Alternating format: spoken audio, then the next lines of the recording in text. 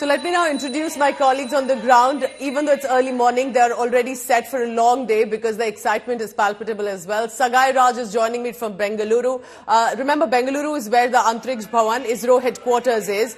Uh, so our colleagues are there today. Sagai Raj Anaga Keshav is one at one of the temples, as we can see. Prayers have been organized as well. Akshita Nandgopal also in Bengaluru. So is Anmol Bali in the national capital, where, of course, whether it's the Nehru Planetarium or other locations where people have gathered. A quick word from you, Akshita, first, because you are where the headquarters are presently. Uh, what is the day looking like? Uh, it is just hours getting closer now.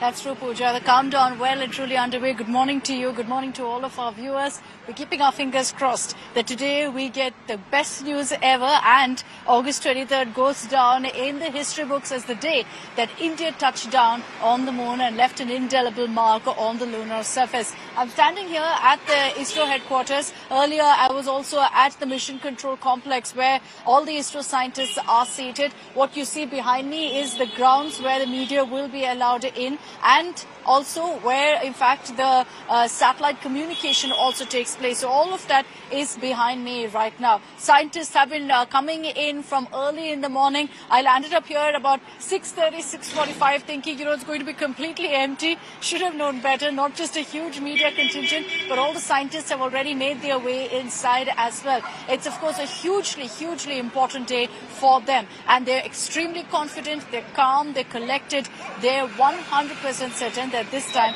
they're going to get it right. There have been, of course, a number of tweaks, changes that have been made from 2019 to now, from Chandrayaan 2 to Chandrayaan 3. And largely, the biggest perhaps change is that lander Vikram has a lot more automated sensors, thrusters, and the likes, equipment that will ensure that the lander himself can see essentially what things look like and take a call of whether it's safe to land at that spot, whether conditions favor him or not. A number of issues here that scientists will look out for. The last 24 hours, you know, I've spoken to several experts. They're saying that what are the factors uh, uh, that you know one should consider about whether this will be a, a, a, safe, smooth landing or not?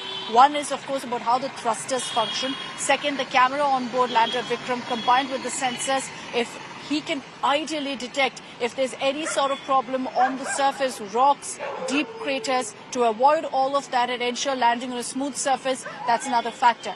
Third is lunar dust. This is not spoken about a lot, but there was a mission, I remember, by the United States, which was a failure because of the amount of lunar dust that it threw up. We're talking about a huge amount of speed and then it completely coming down to zero. So obviously, because of that, there'll be a lot of disturbance on the surface. That's another big factor, which is where also the climate on the lunar surface in the orbit makes a big difference. I know we spoke a lot yesterday, Pooja, about a plan B, about whether, you know, the soft landing could be pushed to August 27th because of a number of issues, particularly climatic conditions. At this point, it's clear ISRO saying we're ready for the go-ahead. We've been given the green signal uh, and it will happen today. If there's going to be any change, we'll know maybe two hours before the actual landing time. So about 3 to 4 p.m. is when you'll have that 100% clarity. But for now, ISRO saying there's no question of delaying it. Plan B not being put into motion for now. It's very much plan A hope uh, that uh, plan A succeeds. And I understand this is science. All calculations and permutations, combinations have been worked out.